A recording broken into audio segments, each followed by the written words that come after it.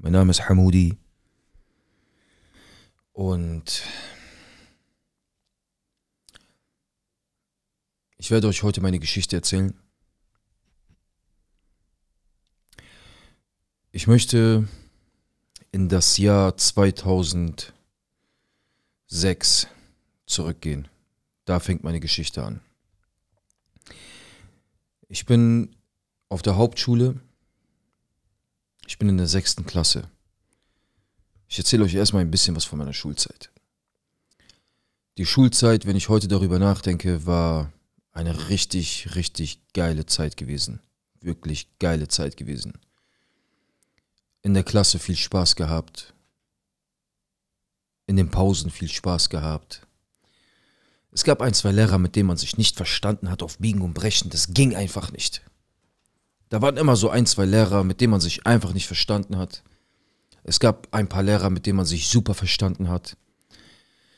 Und da war ein Lehrer, ich wusste, er mag mich nicht. Er wusste auch, ich mag ihn nicht.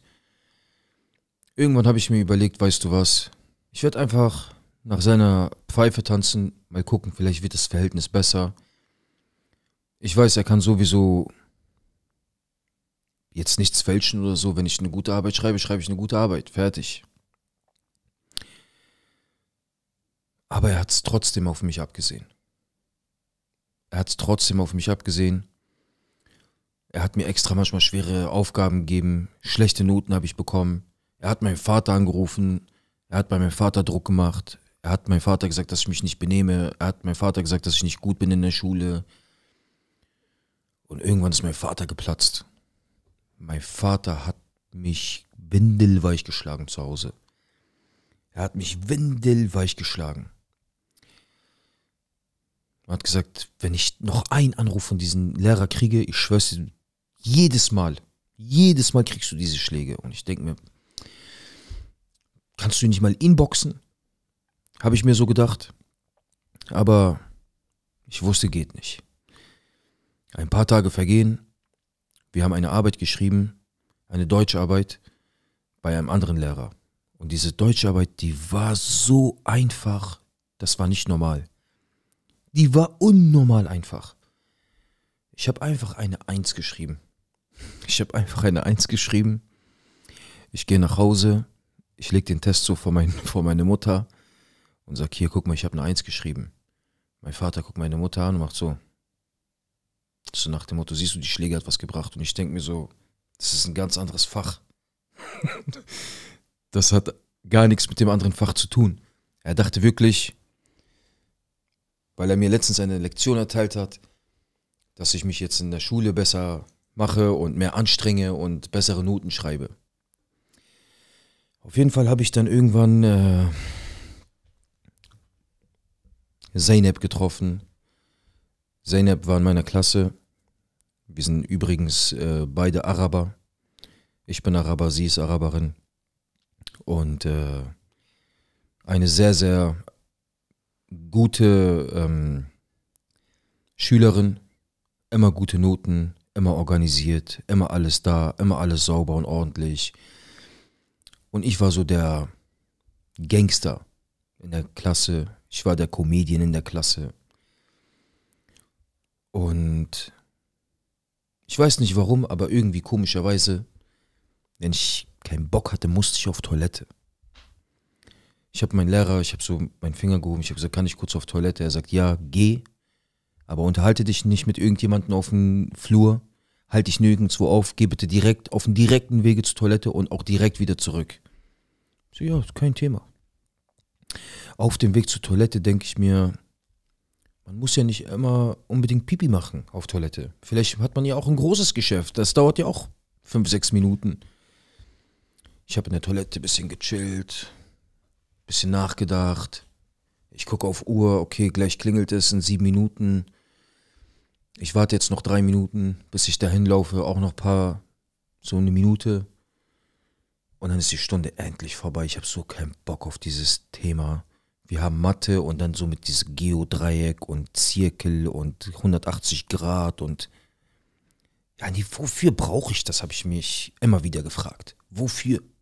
Ich weiß jetzt schon, ich werde in irgendeinem Dönerladen enden, in, einer Pizzeria enden, als Uberfahrer, Taxifahrer enden oder auf einer Baustelle enden, wo ich Hilfsarbeiten mache. Ich bin nicht der Schlauste in der Schule, ich werde sowieso nicht studieren.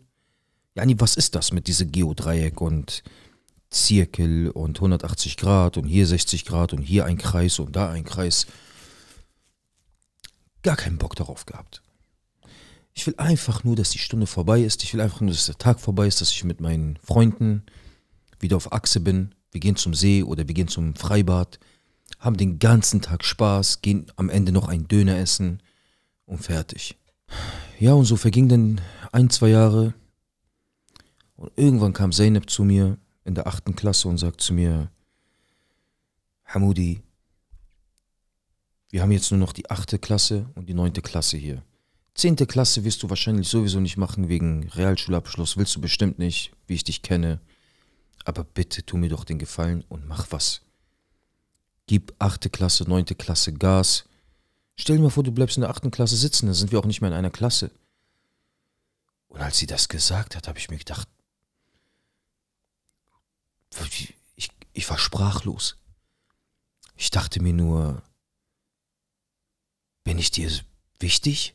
Ich habe echt gedacht, ich bin dir wichtig? So, du bist voll das liebe, süße, gebildete Mädchen. Und ich bin so voll der Assi in der Klasse. Und dir ist wichtig, dass du und ich in einer Klasse bleiben. Ich habe mich so ein kleines bisschen in sie in diesem Moment verliebt. Ich habe zu ihr gesagt, Zeynep, lass uns mal gucken, ob wir vielleicht nebeneinander sitzen können. Dann kannst du mir so ein bisschen helfen. Das würde, das würde mich definitiv motivieren. Ich gehe zu Herrn Böckmann, unserem Klassenlehrer. Ich sage, Herr Böckmann, ist das okay, wenn ich neben Zeynep sitze? Er sagt, auf gar keinen Fall. Damit du sie ablenkst? Nee, nee, nee, nee. Geh sofort wieder auf deinen Platz. Ich so, geh auf deinen Platz, so können sie mit ihrem Hund reden, aber doch nicht mit mir. Er sagt, was soll ich denn sonst zu dir sagen? Ich habe gesagt, sagen Sie das ein bisschen anders. Das hört sich so an, als wenn man so zu seinem Hund sagt, geh auf deinen Platz. Er sagt, setz dich jetzt einfach hin, verdammte Scheiße. Setz dich jetzt einfach dahin, auf deinen Stuhl, bitte. Willst du das so? Ich habe gesagt, ja, hört sich schon besser an. Es war immer so Diskussion, ich war so richtig diskussionsgeil in der Klasse, auch mit den Lehrern. Wenn ich wusste, ich werde gerade ungerecht behandelt, musste ich diskutieren. Und ich musste erklären, warum ich jetzt gerade ungerecht behandelt werde. Ich musste. Aber wir hatten ja keine Zeit für solche Diskussionen. Wir haben ja Unterricht. Ich bin auf meinen Platz gegangen, ich bin voll beleidigt, ich bin voll traurig, ich gucke Zeynep an, ich mache so, Zeynep, was soll ich machen? Sie sagt, alles gut, mach dir keinen Kopf, so nach dem Motto. Nach, äh, nach der Stunde, nach dem Unterricht bin ich nochmal zu Herr Böckmann gegangen. Ich habe gesagt, Herr Böckmann, hören Sie mir zu. Ich bin jetzt in der achten Klasse. Ich habe nur noch diese, dieses Jahr und nächstes Jahr auf dieser Schule. Zeynep ist eine vorbildliche Schülerin und ich würde gerne neben ihr sitzen, damit sie mich unterstützt, mir hilft, wenn ich etwas nicht verstehe. Er sagt, du kannst auch mich fragen. Ich habe gesagt, ja, aber das ist was anderes. Sie sind der Lehrer. Ich frage lieber Sie, ob sie mir das erklären kann mit ihrer süßen, zierlichen, lieben Stimme, anstatt wenn ich sie frage. Er hat gesagt, ich gebe dir zwei Tage zur Probe, du kannst neben ihr sitzen, wenn ich merke, du lenkst sie ab oder sonstiges, gehst du sofort wieder auf deinen Sitzplatz. Ich habe gesagt, Habibi, Herr Böckmann, geht klar. Ich saß neben ihr und da war so ein Typ auf unserer Schule, Andreas. Andreas war so einer, er war in der 10. Klasse, ich war in der 8. Wollte ich noch dazu sagen. Er hat immer auf dem Bauernhof gearbeitet. Er hat so einem Bauern geholfen. Die Arbeiten, die der Bauer nicht mehr machen konnte, hat er gemacht und hatte solche Hände, ich schwör's euch. Und seine Hände waren richtig hart, so durch Hornhaut und so, durch diese Arbeit, die er da gemacht hat. Und er hat mich immer wieder provoziert, aber ich habe mich nicht drauf eingelassen, weil ich wusste, er zerfleischt mich, er wird mich zerstückeln. Keine Chance gegen ihn. Und irgendwie, äh, weiß nicht, ich laufe auf den äh, Schulhof und er rempelt mich so mit seiner Schulter an. Ich gucke ihn an, er guckt mich an und ich gucke meine Cousins neben mir. Das geht nicht, was er da gemacht hat. Ich wusste, ich werde gleich geballert, ich werde gleich auseinandergenommen, aber ich habe mit voller Wucht, bam, habe ich ihm ein Ding gegeben. Marco fällt hin. Er liegt einfach auf Boden und er war schockiert. Er hat Sterne gesehen. Das Ding hat so heftig gesessen. Er war weg, aber ich wusste, sobald er aufsteht oder sobald er die Möglichkeit hat, er wird mich einfach nehmen, so auf seine Schulter, mich irgendwo hinbringen und mich einfach zusammenschlagen. Er war wirklich größer und stärker. Ist einfach so. Aber trotzdem konnte ich das nicht einfach so über mich ergehen lassen, dass er mich an, anrempelt. So, ja, nee, bin ich ein Mobbingopfer oder was? Was ist los mit dir? Ich bin nicht einer, den du mobben kannst. Weißt du? Lieber schlag mich, aber ich gebe dir auch lieber ein paar Dinger. Aber ich bin kein Mobbingopfer, Digga. Ja, nee, soll ich jetzt noch Angst haben, jeden Tag zur Schule zu kommen oder was? Mit mir, Digga, mit mir funktioniert nicht. Auf jeden Fall, ich habe ihm ein Ding gegeben, er lag auf dem Boden. Es hat in dem Moment geklingelt, ich bin einfach weggegangen. Aber ich wusste, es wird ein Nachspiel haben. Mein großer Bruder ist einer, den man sehr, sehr respektiert bei uns. Jeder kennt einfach Ali. Jeder kennt Ali. Und ich habe bei mir auf der Schule habe ich einen, der heißt Mohammed. Ich kann nicht zu Ali gehen und sagen, komm zu mir zur Schule und klatsch mal diesen Typen. Das geht nicht. Kann ich nicht machen, weil er will es auch nicht machen. Er ist schon, wie alt war er zu dem Zeitpunkt? Er war locker, glaube ich, 18. 18 und wir waren 15 oder so. Geht nicht. 14, 15. Was mache ich, was mache ich, was mache ich? Ich weiß, dass Mohammed, der bei mir auf der Schule ist, der ist auch in der 10. Klasse, ein Riesenfan von meinem großen Bruder Ali ist. Egal, was Ali zu ihm sagen würde, Mohammed wird es tun. Und bevor dieser Typ jetzt zu mir kommt, dieser andere, den ich geboxt habe und mich boxt, muss ich jetzt irgendwas machen. Bevor es jetzt zu einer Eskalation hier kommt und er mir die Fresse blutig schlägt, muss ich irgendwas tun. Was mache ich? Ich gehe zu Ali. Ich sage, Ali, ich muss mal kurz mit dir reden. Er sagt, was los? Hamudi, ich habe zu ihm gesagt, Ali, ich habe ein bisschen, äh, ich habe ein kleines Problem hier mit Don Juan. Und ich habe das meinem Bruder Ali gesagt. Und Ali hat gesagt, Mohammed ist doch bei dir auf der Schule. Das Ding ist, Ali weiß von nichts.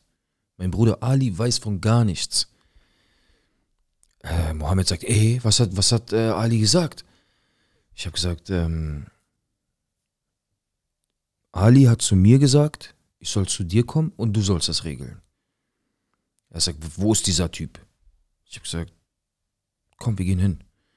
Er geht hin, er, nimmt die, er guckt diesen Typen an, er sagt, du hast ein Problem mit Hamudi? Er sagt, ja. Und er bearbeitet ihn, er gibt ihm drei, vier Bomben. Der Typ fällt auf den Boden, Lehrer kommt, ganze Schulhof kommt, alle stehen bei denen um, äh, im Kreis und alle gucken, was ist da passiert. Mohammed hat ihn geboxt. Ich stehe auch da ganz vorne natürlich. Ich gucke so die ganze Schule an. Ich habe gesagt, wer mich falsch anguckt, der wird dasselbe hier erleben. Wir waren so richtig in unserem Gangsterfilm. Digga, in der Schule. Heftig, Alter, wenn ich jetzt darüber nachdenke, ne? Das ist heftig. So ein paar,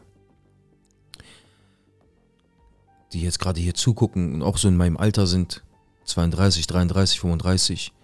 Seid mir ehrlich, ne, wenn man jetzt so zurückdenkt, waren einige schon von uns äh, echt in ihrem Film, ne? Auf jeden Fall, äh, Zeynep kommt dann zu mir und sagt zu mir, Hamudi, warum machst du das? Hör doch endlich auf damit. Bitte mach doch was aus deinem Leben. Sie hat mir so eine Predigt gehalten. Ich habe mich so in sie verliebt. Oh mein Gott, ich habe mich so in sie verliebt. Ich habe zu ihr gesagt, Zeynep, ich baue nie wieder Scheiße. Ich baue nie wieder Scheiße.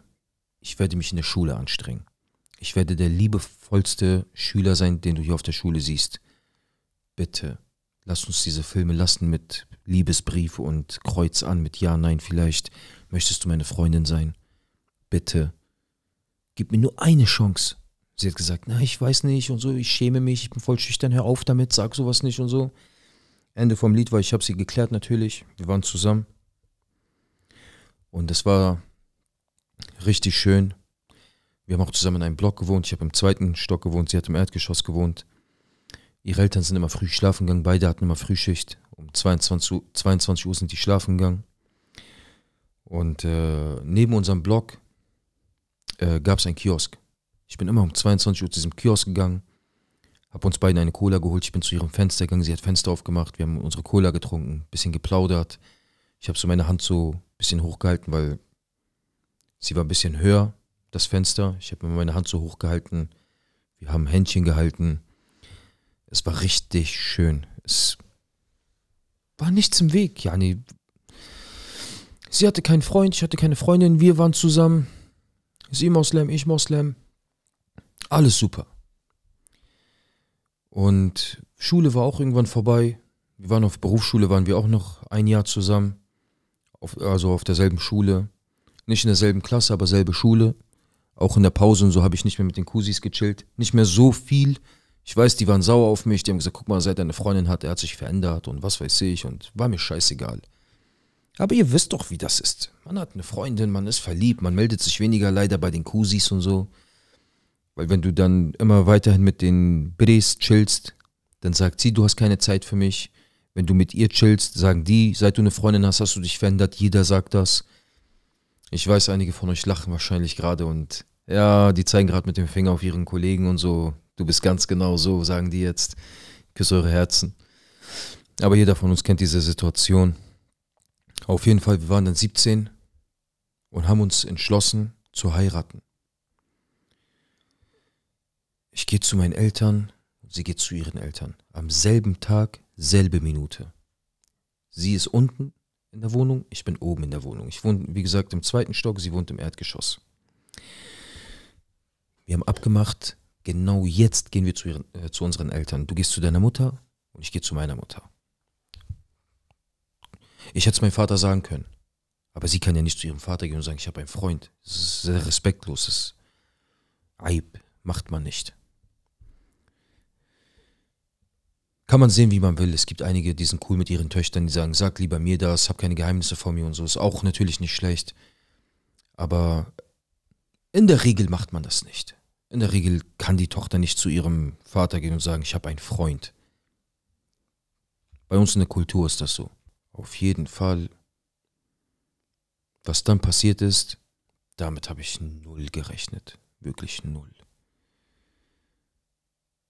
Meine Mutter macht den Terror ihres Lebens. Ihre Mutter macht den Terror ihres Lebens. Warum, wieso, weshalb? Sie ist Schiiten und wir sind Sunniten. Ich habe gesagt, ja und? Moslem ist Moslem.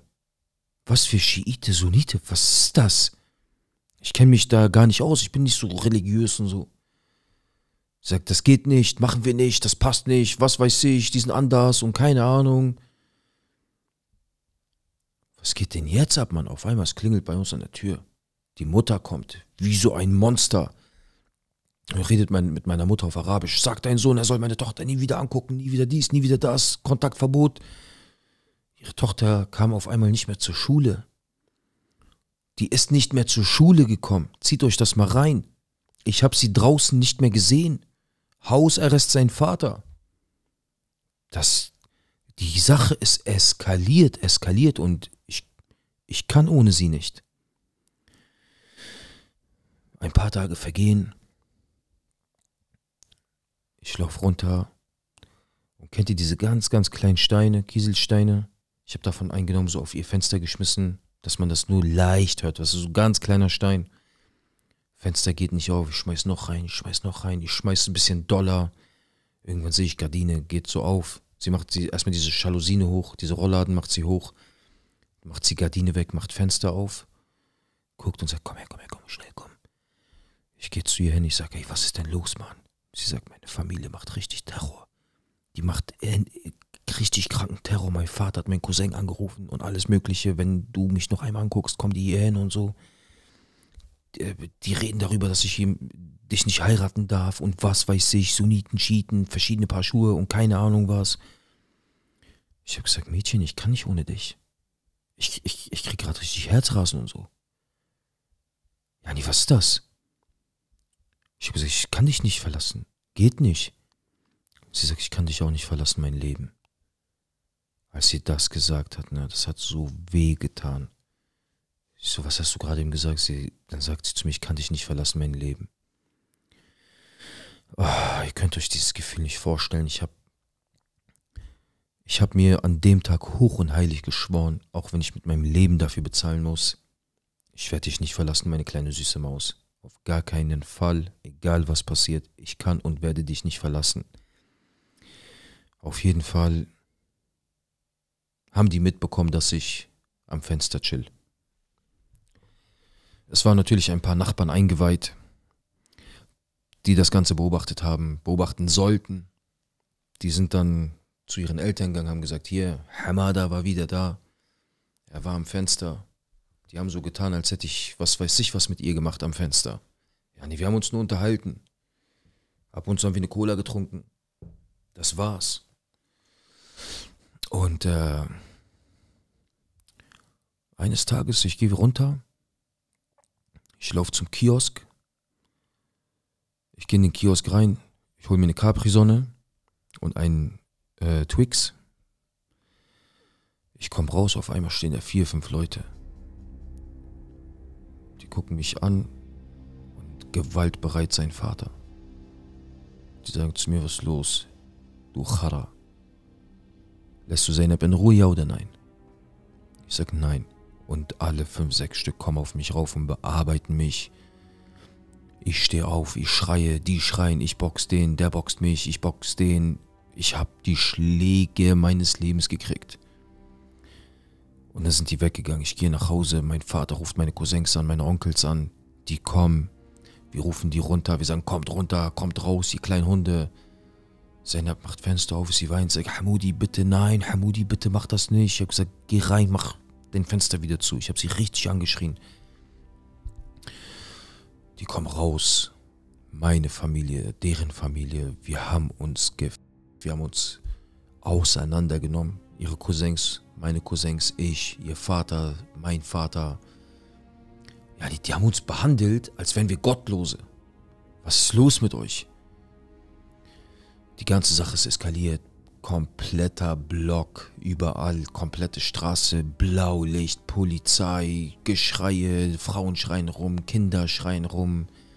Die Sache ist extrem, extrem, extrem eskaliert. Alle wurden auseinandergehalten. Lage hat sich irgendwann beruhigt. Und die sind dann reingegangen. Wir sind reingegangen. Polizei hat alles aufgenommen. Aber der Hamudi konnte es nicht sein lassen. Ich liebe meine Zainab und ich werde meine Zainab nicht verlassen. Koste es, was es wolle. Ich gehe wieder an ihr Fenster. Ich habe gesagt, Zainab, hier ist deine Cola, mein Schatz. Ich, wir haben zum Cola wieder getrunken. Wir haben uns beide gegenseitig angelächelt. Wir haben auch nicht geredet. Man wusste ja nicht, ob die Wände haben Ohren. Ihr wisst. Wir haben uns einfach nur angelächelt haben unsere Cola getrunken, die Anwesenheit genossen und dann bin ich wieder gegangen. Natürlich auch sehr, sehr vorsichtig und auch wirklich zu Zeiten, die nicht mehr menschlich waren. Es war nicht mehr so 10 Uhr abends, 22 Uhr, es war eher so 1, 2 Uhr nachts, wenn alle wirklich safe geschlafen haben, wirklich safe geschlafen haben. Und dann so ein paar Tage später wo ich dachte, es ist eigentlich alles okay, keiner wittert was, wurde ich abends gepackt wieder, genau wieder beim Kiosk, ein Ding auf meinen Hinterkopf und ich wurde hinter die Wand gezerrt. Von drei Leuten. Einer zieht Messer und hält so an meinen Hals. Du kleiner Hund. Haben wir dir nicht gesagt, du sollst Zeynep in Ruhe lassen? Und holt aus und sticht einmal in meinen Bauch rein. Ich halte meinen Bauch fest. Ich dachte, hat er das gerade wirklich gemacht? War das nur so aus Spaß und Anstechen, so quasi einmal so in den Bauch, nicht rein, sondern nur so auf den Bauch? Oder war er jetzt drin? Ich konnte es nicht einschätzen. Ich halte das da so fest. Ich sage, was hast du da gemacht, du kleiner Hund? Ich habe ihn von vorne bis hinten beleidigt. Ich bin weggerannt. Ich bin nach Hause gerannt. Ich sag mein Vater, die haben mich gerade gepackt und die haben irgendwie mit Messer gegen meinen Bauch geschlagen. Ich weiß nicht, was los ist. Meine Mutter zieht mein, mein T-Shirt hoch, holt mein Unterhemd aus meiner Hose raus. Dieser Ibn al-Kelb hat wirklich reingestochen. Nicht Gott sei Dank so tief. Ich bin direkt ins Krankenhaus gegangen. Die haben mich bearbeitet, die haben das zugenäht, alles Mögliche und mein Vater hat Rache geschworen. Ich habe mir nur gedacht, warum macht ihr das, Alter? Warum macht ihr das? Ja, nie wäre sie irgendwie von einer anderen Religion, hätte ich gesagt, Hammer, verstehe ich alles. Aber wir sind von derselben Religion. Auch wenn wir nicht von derselben Religion sind. An den Gott, an den du glaubst, an den glaube ich doch auch. In den Himmel, in den du kommst, in den komme ich auch. In den Boden, in den du beerdigt wirst, in den komme ich doch auch. Was ist denn los mit dir, Alter? An allererster Stelle sind wir doch Menschen. Wir sind doch Menschen, ist doch egal welches, welches äh, Land, welche Religion, was weiß ich. Wir sind alles Menschen und wir glauben alle an diesen einen einzigen Gott. Meine Fresse nochmal. Was sind das hier für Filme? Auf jeden Fall ist die Sache wieder eskaliert. Wieder eskaliert. Die Sache zieht sich. Ein Jahr, zwei Jahre. Meine Mutter und mein Vater sagen zu mir, trenn dich doch von ihr, es reicht doch, hör doch endlich auf, die haben dich fast umgebracht, wir haben die fast umgebracht, es reicht, hör auf damit. Ich habe gesagt, Wallah, ich kann nicht. Geht nicht. Es geht nicht. Mein Vater gibt mir eine Backpfeife, ne? Mit so viel Schwung und mit so viel Power und so viel Motivation und Elan hat er mir noch nie eine gegeben. Er hat gesagt, du, kann, du kannst dich aus meinem Haus verpissen. Verpiss dich aus meinem Haus. Mein Gott, Alter, gibt's keine anderen Frauen? Such dir irgendeine andere. Muss es unbedingt die sein oder was? Mit dieser ganzen Bella oder was? Ich habe gesagt, genau die mit diesem Bella will ich haben. Mein Vater guckt mich richtig verzweifelt an. Er hat gesagt, was soll ich machen? Sag mal, was soll ich machen? Ich weiß nicht immer, was ich machen soll. Du bist zu stur. Du bist einfach zu stur, aber was ist mit ihr los, mit dieser hässlichen, diese Missgeburt und hat sie beleidigt? Warum trennt sie sich nicht von dir? Als er sie beleidigt hat, ne, ich habe so einen Hass gegen meinen Vater gehabt in diesem Moment. Ich dachte mir, wie kannst du nur so über sie reden? Wie kannst du über diese Frau reden, die ich so sehr liebe? Wie kannst du nur, Alter? Ich war so verletzt. Ich war unnormal verletzt. Es kamen Morddrohungen von denen, immer und immer wieder. Morddrohungen von uns. Irgendwann ist ein Onkel von ihr gekommen, hat bei uns geklopft. Mein Vater macht die Tür auf. Mein Vater sagt, Achui, hör mir zu. Er sagt, ich schwöre dir auf Koran, ich habe oft zu meinem Sohn gesagt, trenn dich von ihr. Ich hab's gemacht. Ich hab's oft gemacht, aber er macht's nicht. Wallah, ich weiß nicht mehr weiter. Ich komm bei diesen Jungen nicht durch. Redet ihr doch auch mit eurer Tochter. Gibt sie ihren Cousin, sie soll heiraten, damit er hier endlich Ruhe gibt. Ich schwöre, ich kann nicht mehr. Denk nicht, ich und seine Mutter, wir reden ihn ein, trenn dich nicht von ihr und solche Sachen. Wallah, wir machen das nicht. Wir können nicht mehr. Macht mit uns, was ihr wollt. Was sollen wir machen? Der Onkel sagt, du bist ein Mann mit Ehre. Ich werde das gleich auch ihren Eltern sagen. Ich werde das ihren Cousins sagen. Aber sollte euer Sohn irgendwas mit ihr machen, werden wir euren Sohn, ihr wisst, euch nicht. Ich glaube dir, aber ich schwöre, dein Sohn wird dran glauben. Definitiv. Mein Vater sagt, wenn mein Sohn wirklich so ein Ehrenloser ist, sein Kopf gehört euch. Und ich höre das. Ich höre das die ganze Zeit mit. Ich überlege die ganze Zeit, ich überlege die ganze Zeit, was mache ich? Ich lasse erstmal ein paar Tage vergehen, ich gehe nicht zum Fenster. Ich lasse eine Woche vergehen, zehn Tage vergehen, 15 Tage vergehen. Irgendwann klopfe ich an ihrem Fenster. Sie macht Fenster auf, sie sagt, hallo mein, mein Herz, mein Engel. Ich gucke sie an, ich habe gesagt, liebst du mich so sehr? Sie sagt, ich schwöre, ich kann nicht ohne dich. Ich, ich verliere meinen Verstand, ich verliere, ich verliere meinen Kopf ohne dich. Seit zwei Wochen schlafe ich jeden Tag mit Tränen in den Augen ein. Ich weiß nicht, warum man sich immer wieder in mein Leben einmischt. Es ist doch mein Leben. Ich bin doch auf diese Welt gekommen, um ein glückliches Leben zu führen ein Leben so zu führen, wie ich es möchte. so zu führen, dass ich glücklich bin, zufrieden bin, glücklich irgendwann sterbe? Warum muss ich ein Leben führen, wie du es haben willst? Warum muss ich mich so verhalten, wie du es möchtest? Schreibe ich dir vor, wie du dich verhalten sollst, wie du leben sollst? Mische ich mich in dein Leben ein? Nein, weil es dein Leben ist. Und mein Leben ist mein Leben. Ich möchte doch einfach nur glücklich sein. Ich bin doch schon weinend auf die Welt gekommen. Soll ich auch noch mit Tränen in den Augen sterben? Nach diesen Worten habe ich mir gedacht, ich muss mir was einfallen lassen. Ich bin zu Gerd gegangen. Gerd ist ein Sozialpädagoge gewesen in der Schule, in der Berufsschule damals, der Schülern immer zugehört hat, wenn die Probleme hatten. Ich bin zu Gerd gegangen, ich habe gesagt, Gerd, ich habe ein Problem.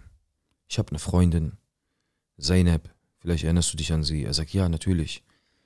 Ich habe ihm die Situation erklärt und Gerd war sofort bereit zu helfen. Er hat gesagt, pass auf, ich kann sie in ein Frauenhaus stecken, ihr könnt abhauen, ich gebe euch eine neue Identität, ich kann das alles organisieren, Polizeischutz, alles Mögliche. Er hat mir hunderttausend Sachen gesagt. Ich habe gesagt, meine kleine Maus kommt bestimmt nicht in ein Frauenhaus. Das funktioniert nicht, das geht nicht. Irgendwann habe ich ein, zwei Sachen durchgezogen, weil ich Geld brauchte. Sehr viel Geld. Sehr, sehr viel Geld. Es ging um 150.000 Euro. Bis heute weiß auch keiner, dass ich das war. Ich kann auch nicht sagen, was es war. Aber ich habe ein Ding gezogen. Ich habe 150.000 Euro gemacht. Ich habe Zeynep genommen und wir sind nach Spanien gemeinsam abgehauen. Natürlich war es nicht Spanien, Freunde. Ich muss hier Spanien erwähnen. Es war natürlich ein anderes Land. Ich muss auch irgendwo die Anonymität in den Stories immer sichern. Das finde ich auch das Besondere an diesem Format. Du kannst deine Geschichte hier erzählen in anonymer Form, ohne vor der Kamera zu sein, ohne selber zu sprechen. Und all diese ganz wichtigen Details wie Städte, Namen, Orte, Preise, Autos werden komplett geändert, sodass es auf jeden Fall anonym ist und bleibt. Ohne dich natürlich auch strafbar zu machen, ganz klar. Ja, wir sind nach Spanien abgehauen. Wir haben uns da was aufgebaut. Wir haben uns erstmal eine Mietwohnung besorgt. Ich habe mir einen Job gesucht. Sie hat sich einen Job gesucht. Irgendwann haben wir uns ein Haus gekauft. Wir haben geheiratet. Auch religiös natürlich. Wir sind da zu einem Hodja gegangen. Wir haben ihm die Situation erklärt. Wir haben geheiratet.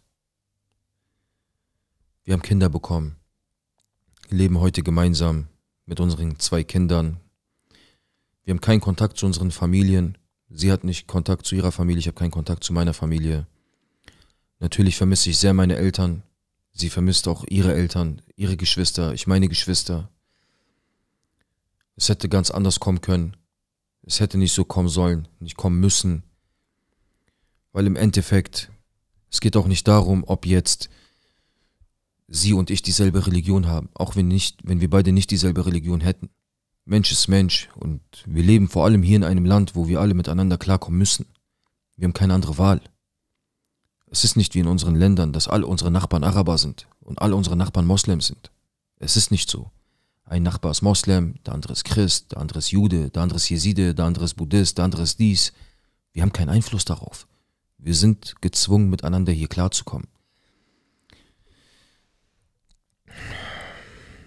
Ich liebe euch alle, egal was für eine Religion du hast, der gerade hier zuguckt.